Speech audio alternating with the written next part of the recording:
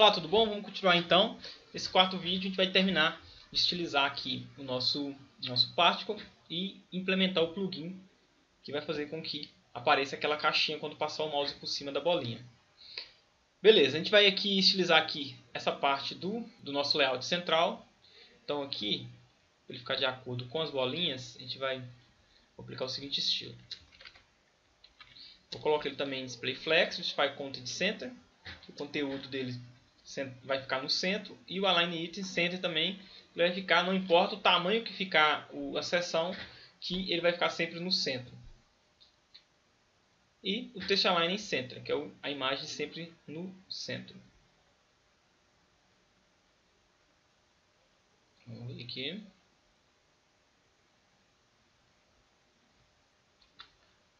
Beleza, agora está no centro a imagem. E uma outra coisa que a gente vai fazer se a gente vir aqui no layout, a gente pode perceber que a bolinha do centro ela tem um recuo, né? O, as características da esquerda ela tem um recuo maior, né? da mesma forma do, do, da, das características da direita. Então a gente vai fazer isso, usar um recurso aqui via programação mesmo. Lá no nosso Web Project, né, para isso acontecer, a gente vai fazer o seguinte. Aqui no nosso Factory, que é a classe, que é a div que engloba todo o nosso a nossa bolinha, a gente vai colocar um condicional da seguinte forma. Deixa eu abrir a tag do if. Se a nossa key né, for igual a 1, ou seja, se for o segundo elemento, que sempre começa em 0, então a gente vai aplicar a seguinte classe, align left. Ou seja, o alinhamento daquela bolinha vai ficar à esquerda.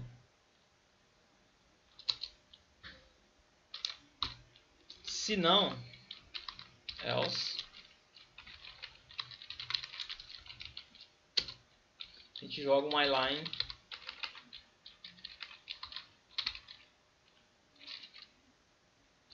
right. Então ela mantém à direita. E fecho aqui o meu if. And if. Ok? Mesma coisa eu vou fazer aqui embaixo. Só que esse aqui, como é o da direita, então eu só preciso fazer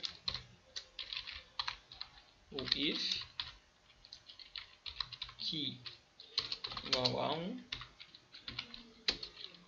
eu coloco um line que ele já está do lado esquerdo, né? O padrão da div é o lado esquerdo, então. Align. Opa, coloca no lugar errado. Esse aqui. Align. Right. E fecho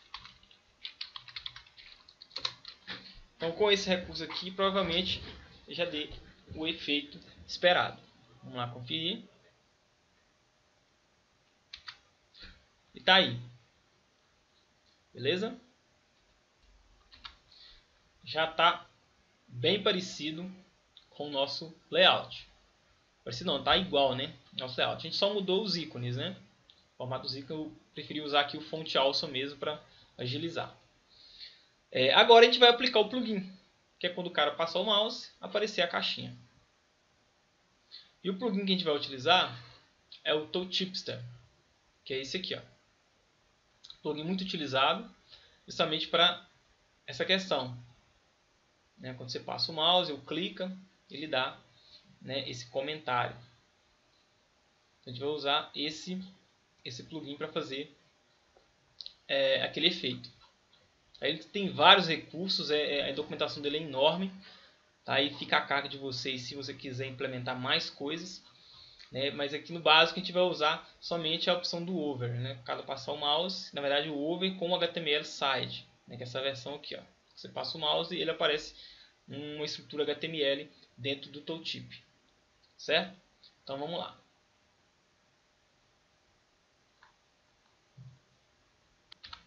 É muito simples a instalação, basta você baixar né, o plugin, fazer o download, ele vai te dar um arquivo JS e um arquivo CSS.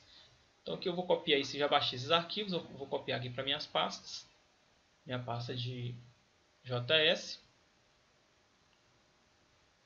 Vou criar aqui uma pasta chamada tool, tool, tool chipster, tool chipster, ok, e aqui dentro eu vou colar os meus arquivos.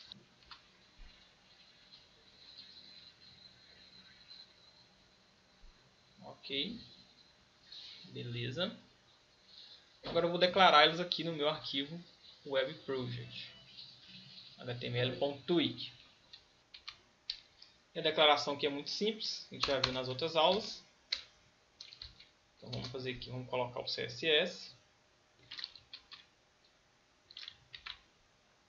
Para a do tipster. A gente vai colocar aqui, puxar a dependência nosso tooltipster JavaScript. Agora eu vou abrir uma tag script, onde eu vou fazer a implementação desse plugin.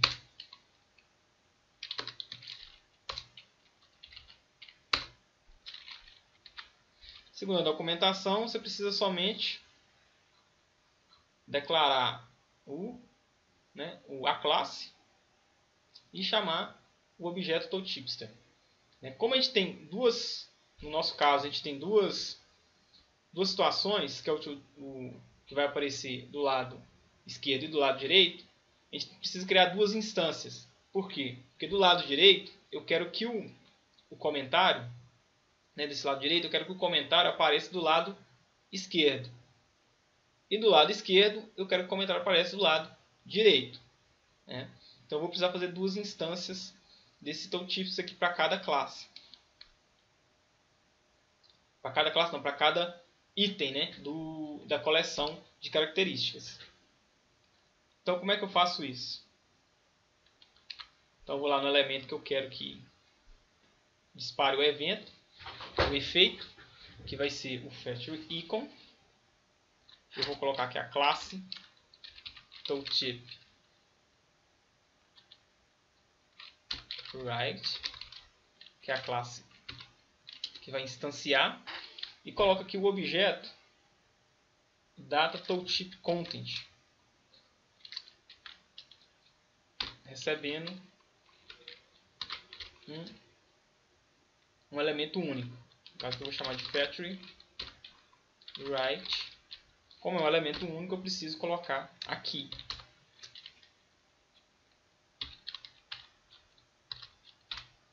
que isso aqui vai referenciar a esse conteúdo aqui ó fetch right key, fetch right key.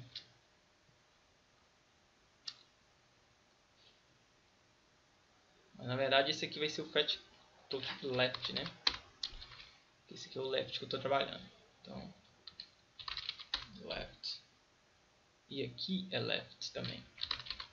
Certo? Então ele vai referenciar a isso aqui. Ó. Isso aqui faz parte da documentação, que é a parte onde ele usa essa, esse daqui, ó, que é o over com conteúdo HTML dentro do tooltip. Então, estou usando essa opção. E para usar ela, você precisa fazer esse esquema aqui, onde você referencia qual HTML vai ser renderizado dentro do tooltip, que é justamente esse aqui. Ok? É a mesma coisa, eu vou fazer lá na, na coleção da direita, que é aqui dentro do factory, tooltip right. Eu vou copiar isso aqui. Você. Vou vir aqui. Right. Na verdade, é esse mesmo.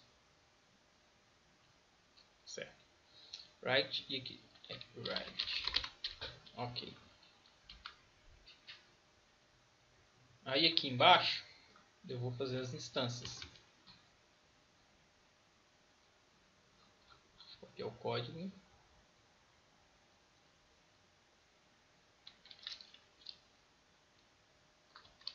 C.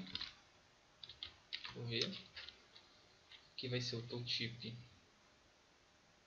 left.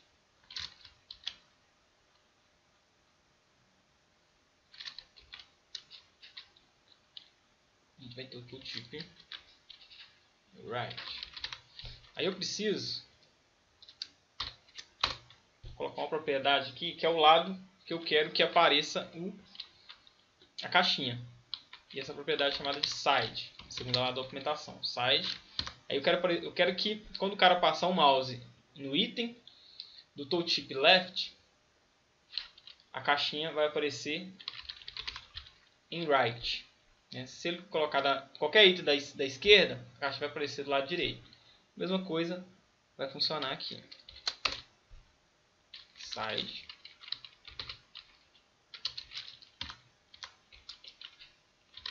Left. Ok.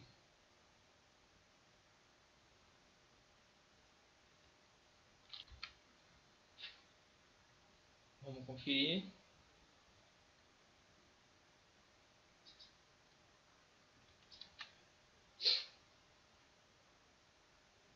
Não funcionou. Vamos ver por quê. Se tem algum erro JavaScript. Aqui em console. É, jQuery não está definido. Nome definido, ok. Tá, eu vou fazer o seguinte, vamos aqui no nosso projeto, em Home, e vamos colocar o nosso aqui em Page Settings vamos habilitar o jQuery, que o jQuery está desabilitado e depois a gente faz uma forma de disso aqui ser geral genérico quer dizer né, para o nosso, nosso tema lá no final só para a gente fazer isso funcionar, eu vou colocar aqui o framework de jQuery ligado. Tá? Eu vou aplicar isso aqui. Vamos ver se funciona.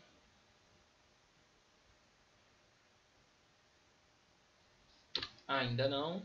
Vamos verificar por quê. Ele não está identificando a função. Eu acredito que de, de, seja por causa do cifrão é criada em algum conflito de outra biblioteca que está sendo carregada com de uma. Então o que a gente vai fazer aqui? A gente vai usar uma forma da gente encapsular isso aqui e tirar esse conflito. Então vou colocar aqui function. Coloco o cifrão aqui dentro.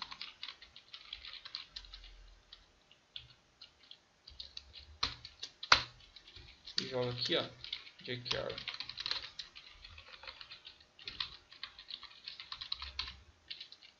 Aqui, ó. Coloca esse conteúdo aqui dentro. Ctrl X.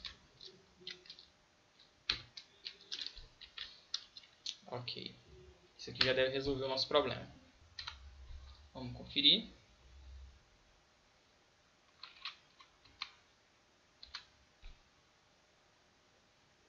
Agora sim, já funcionou.